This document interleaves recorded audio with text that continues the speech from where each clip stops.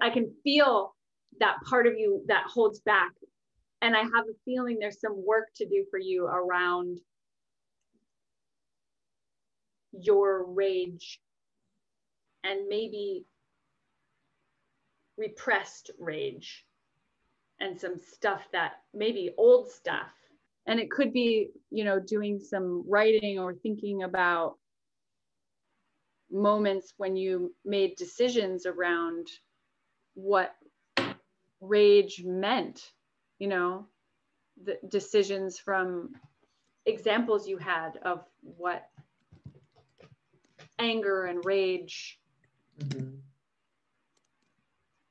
mean what it means to be like that we often make you know early life decisions about how we want to be based on our the information we got you know yeah and seeing my parents fight was so terrifying yeah, yeah. so terrifying. Yelling rage right? So that some of us end up as the the the pleasers you know and wanting to be nice and people to like us. And then we have to kind of a lot of this work in here is the undoing of of some of that stuff. So that we can fully express and be fully human and also just heal some of that stuff. Mm. you know.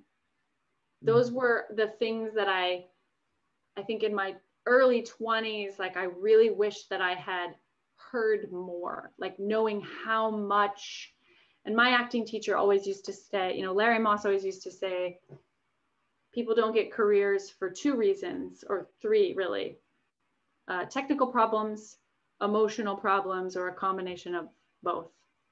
And I really think that the the emotional side of things doesn't get worked through enough because we mm. just there's stuff that we are hard we become hardwired mm. to avoid we don't even know we're doing it mm.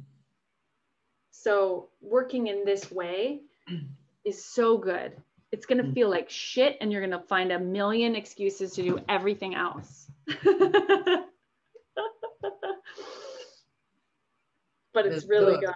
good. It's good. It's good. It's really good. It's really, really, really, really good.